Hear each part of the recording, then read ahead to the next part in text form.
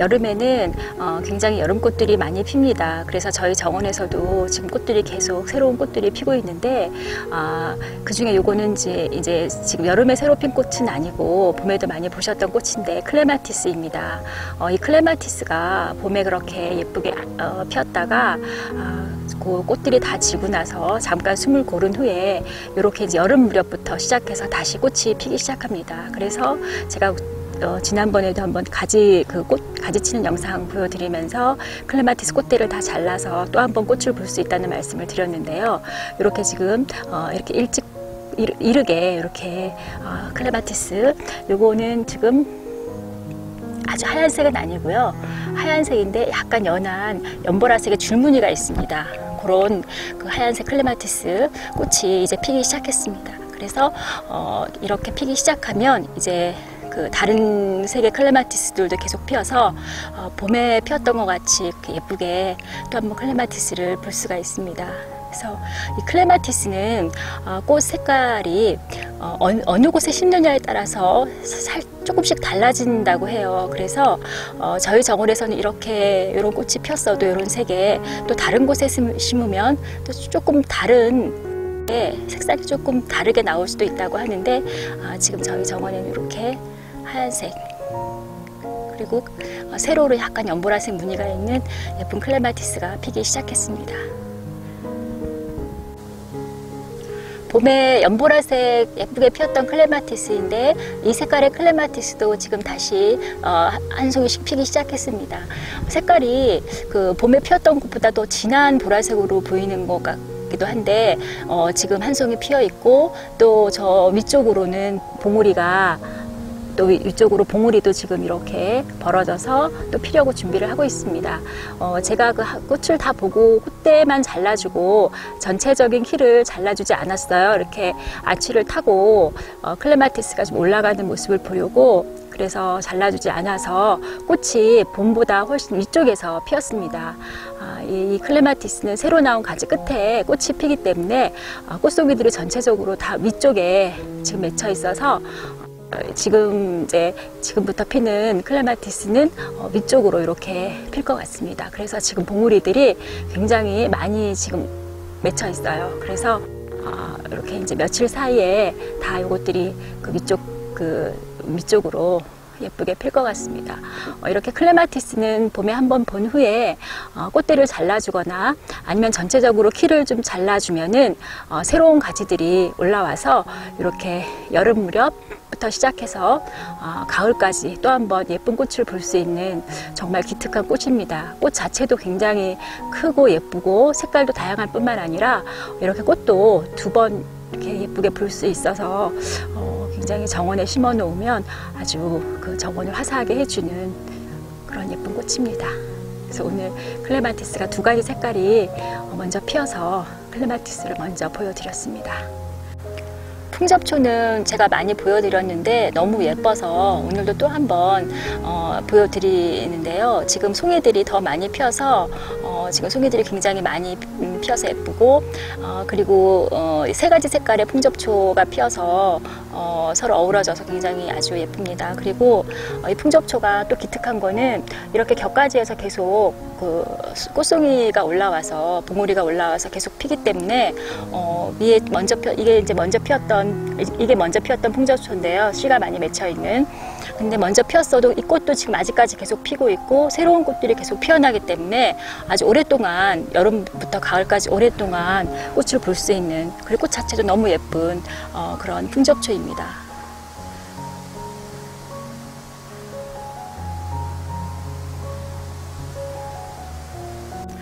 아, 주황색 천일홍이 아주 많이 올라와서 어, 정말 예쁘게 피어 있습니다. 어, 천일홍은 이 꽃송이가 자세히 보면은 이렇게 주황색인데 군데군데 주황색 사이에 노란색 점처럼 이렇게 있, 으면서 이렇게 좀 모양 자체가 좀 길쭉하게 그렇게 꽃이 커지면서 그렇게 보이는데요. 어, 이 천일홍은 지금 이 꽃이 핀 지 오래됐는데 아직도 이 모양을 유지하고 있고 얘는 어, 잘라서 말려도 이 꽃 모양 그대로 유지를 하고 있습니다. 그래서 드라이 플라워로 많이 이용하는 그런 꽃인데요. 지금 여기 많이 피어 있고 아래에 꽃송이들이 많이 있어서 제가 오늘 요거를 잘라서 드라이 플라워를 하려고 지금 자르려고 보고서 자르려고 나왔습니다. 이렇게 다 잘라서 이렇게 잘라주면 아래쪽에 송이들이 지금 봉우리들이 많이 올라와 있는데 애들이 이제 다시 더 빨리 피고요. 어, 요 자체는 또 그대로 말려서 어, 보면 됩니다. 꽃병에 꽂아놔도 그대로 예쁘고 이렇게 걸어놔도 모양 그대로 유지가 됩니다. 그래서 지금 요거는 지금 막 피고 있어서 좀 피어야 되는 꽃들이라 놔두고 요거는 이제 활짝 핀 거라 제가 지금 잘랐고요. 여기 아래쪽에도 예, 예, 고양이들이 가지고 놀더니 요게 아래로 쳐져가지고 요거까지 이렇게 잘라서 요거는 이렇게 어느 정도 피었고 예쁜 상태이기 때문에 이걸 그대로 이제 꽃병에 꽂으면 요 모양 그대로 마릅니다. 정말 신기하게. 제가 작년에도 천일홍을 이렇게 말렸었는데 아직도 물론 색이 조금 바랜 느낌은 있지만 그대로 모양을 유지하면서 그대로 꽃이 있습니다. 그래서 올해도 이렇게 좀 이거를 꽂아 놓으려고 좀 잘랐습니다. 잘랐지만 이제 그 봉우리들이 여전히 올라오기 때문에 계속 꽃이 핍니다. 메리골드도 여름에 아주 예쁘게 볼 수 있는 꽃이죠. 어, 얘는 1년생이기는 한데 어, 여름부터 피기 시작해서 계속 꽃봉오리가 올라와서 어, 가을까지 늦게 오- 오래 피는 그런 꽃입니다. 어, 제가 씨를 뿌린 건데 이렇게 한 포기가 잘 올라와서 어, 지금 계속 꽃이 피고 있습니다. 어, 메리골드는 지금 색깔이 저는 이런 색인데 또 다른 색깔의 메리골드들도 다양하게 있더라고요. 그래서 이것도 어, 이렇게 심어 놓으면은 그 오랫동안 꽃을 볼 수 있어서 참 좋습니다.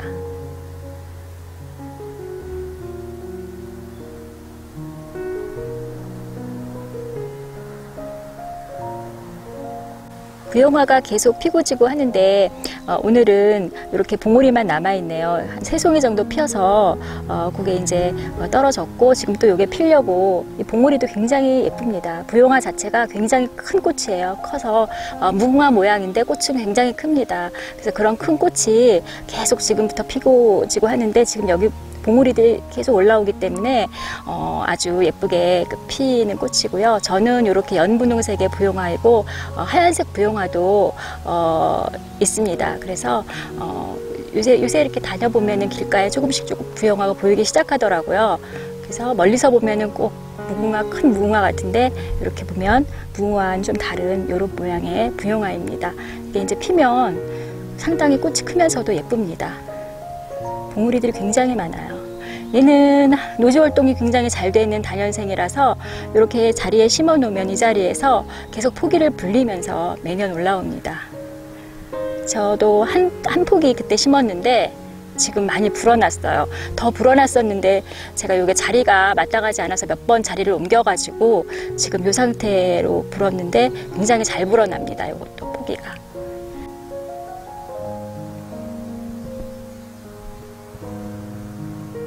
수국도 꽃이 핀 지가 꽤 돼서 약간 좀 시들어가는 그런 색깔처럼 보이는데요. 어, 그렇게 시들어가는 모습도 아주 예쁩니다. 색깔이 어, 여기 좀 약간 시든 그런 약간 시들면서 좀 새끼 바랬는데 그래도 꽃 모양이 그대로 있으면서 아주 예쁘게 달려 있습니다. 그래서 어, 지금 봉우리도 아직도 있어서 계속 그 꽃은 필 것 같아요. 정말 어, 올해 처음 보는 꽃인데 제가 키우면서 어, 너무 기특하게 생각하면서 보는 꽃입니다.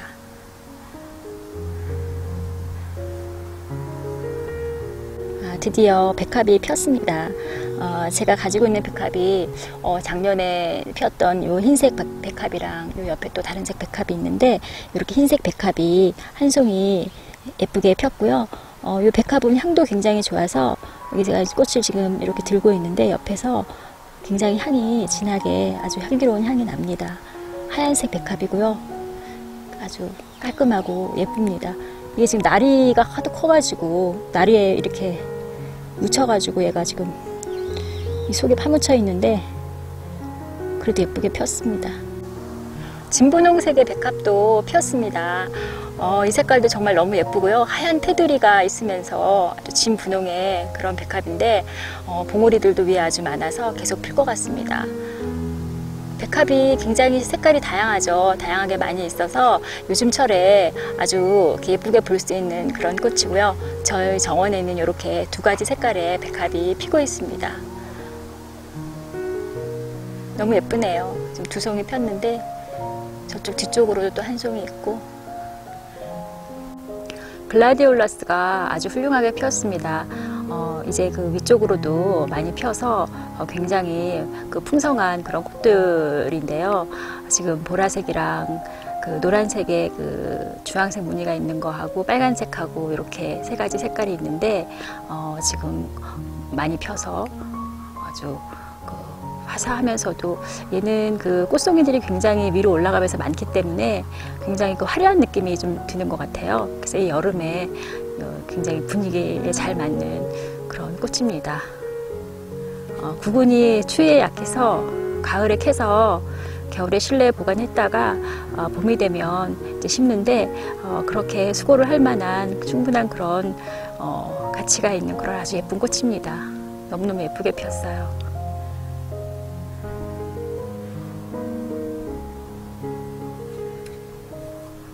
얘는 이제 이렇게 잎도 위로 많이 자라고 꽃대도 굉장히 길게 자라기 때문에 일단 꽃이 피기 시작하면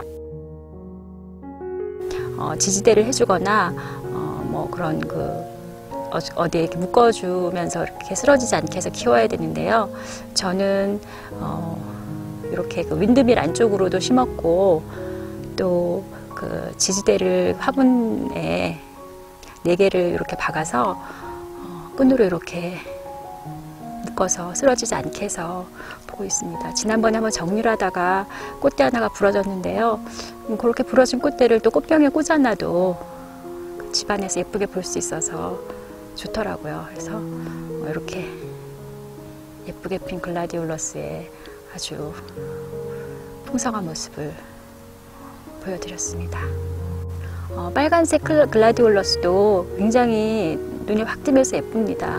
얘는 안쪽으로 약간 그 미색의 그런 무늬가 조금 있는 그런 색깔의 글라디올러스입니다. 한 반쯤 피었고요. 위쪽으로 봉우리들도 많이 남아 있어서 어, 이게 다 피면 어, 굉장히 좀 화려하면서 화사한 어, 그런 글라디올러스가 될 것 같습니다. 제가 글라디올러스를 화분 두 개에 나누어서 심었는데 어, 다른 쪽 화분에도 어, 이렇게 예쁘게 피었습니다.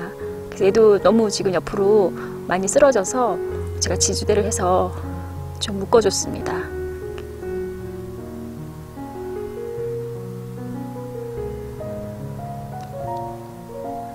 굉장히 크게 자라고 쓰러지니까 이거를 염두에 두고 어, 처음에 심을 때부터 지지대를 해서 어, 중간에 이렇게 그 쓰러져서 세우다 보면은 좀 꽃대도 상할 수 있고 하기 때문에 미리미리 그, 어, 지지대를 좀 해주는 게 좋을 것 같아요. 어, 4월 달에 글라디올러스하고 아마릴리스하고 같이 심었던 꽃도라지인데요. 어, 요거는 이제 부- 보라색으로 어, 보라색으로 피는 그런 꽃도라지입니다.